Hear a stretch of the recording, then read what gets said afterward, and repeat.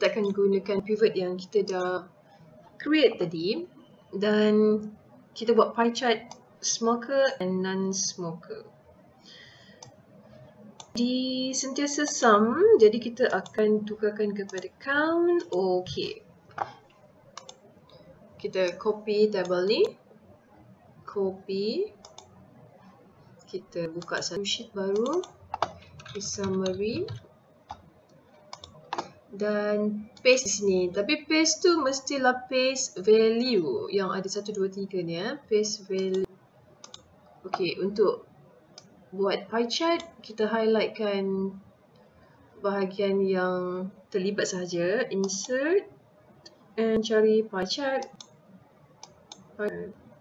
Saya suka layout ni, ada banyak layout di sini.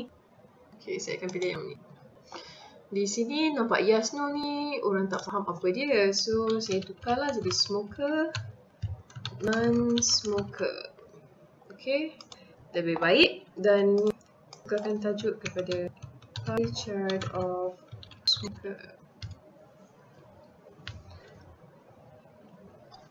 Among student.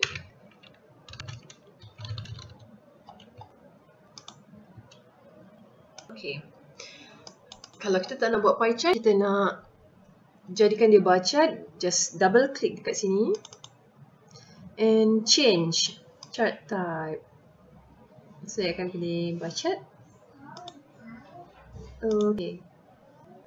Okay, dah jadi simple bar chart. Untuk komponen bar chart dan komponen bar chart dan multiple bar chart, kita kena ada cross tabulation. Jadi kembali kepada pivot.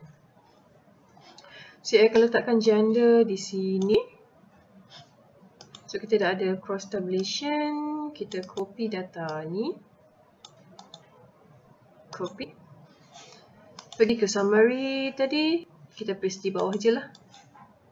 Paste value. Paste value. Okay. So bila dah ada cross tabulation baru boleh create component bar chart. Insert bar ataupun boleh klik di sini recommended recommended chart.